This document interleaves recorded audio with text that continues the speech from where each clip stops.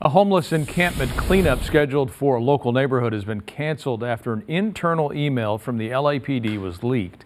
That email is being called highly inappropriate. KTLA's Annie Rose Ramos live in West Hills to explain. Annie Rose, good morning.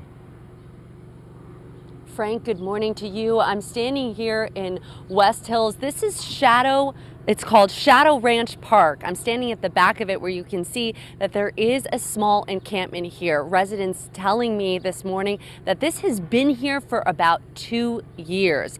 And in this area, this is where there was a scheduled cleanup, scheduled for tomorrow, as you mentioned, Frank. That has since been postponed. Now, I'm going to ask our photographer, Ed, to pan over here because these are the signs that have been put up all in this area. It says notice of major cleaning set for 6 a.m. Thursday morning, June 29th.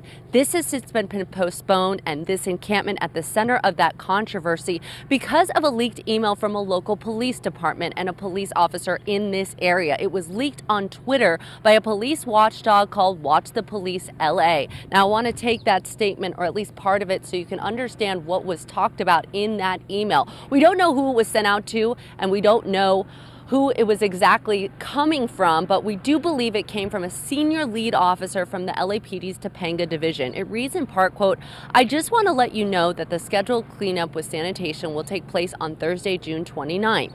Everyone will be arrested and all their belongings will be taken away by sanitation. It goes on to say, I want to make sure all are there at the encampment on the 29th so I can arrest them. This is a hush-hush task force. Now, as a result of this leaked document, the LAPD released a statement yesterday saying in part that this was, quote, highly inappropriate and does not in any way represent the department's values, policies, or practices related to people experiencing homelessness. The officer who authored the email will be provided extensive training by the department's homeless coordinator's office. In the meantime, the residents here that we've been speaking to say this encampment has been here for years and they don't feel safe because of it. Drugs, screaming, yelling, fighting between them. And supposed to be a nice residential area.